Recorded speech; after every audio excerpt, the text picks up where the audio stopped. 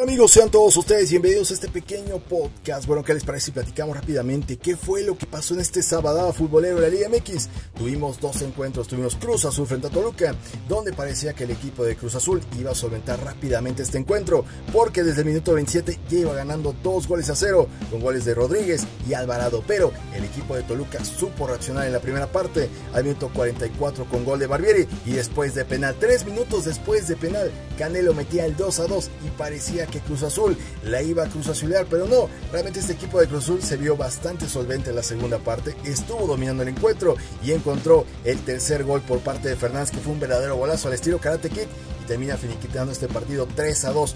Quinta victoria consecutiva para este equipo de Cruz Azul. Hay que recordar que el día miércoles fue una derrotada a los Tigres en el Volcán. No hubo ninguna no hubo ninguna presión por parte de Cruz Azul porque mucha gente hubiera, ocupado la excusa de que Cruz Azul venía cansado. No, para nada. Realmente Cruz Azul se vio bastante bien en este encuentro. Y también vimos un Toluca que puede ser protagonista en este torneo. Me parece también que Toluca tiene lo necesario para una de esas poder llegar a la liga y dar algunas sorpresas. Pero bueno, realmente fue un muy buen encuentro. Y después tuvimos Atlas frente al América, donde el América termina ganando dos goles a cero. Un partido bastante, bastante aburrido.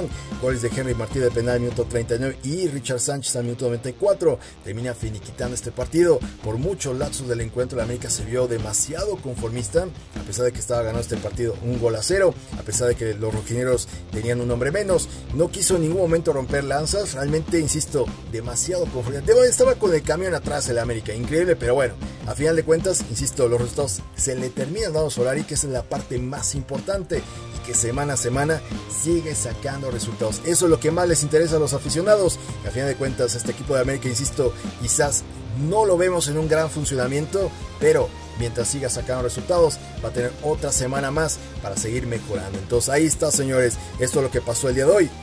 Recuerden que este día domingo tenemos tres encuentros. Tenemos Pumas frente a León, ese partido es a las 12 de la tarde. Después tenemos Querétaro frente a Puebla, ese partido es a las 5 de la tarde.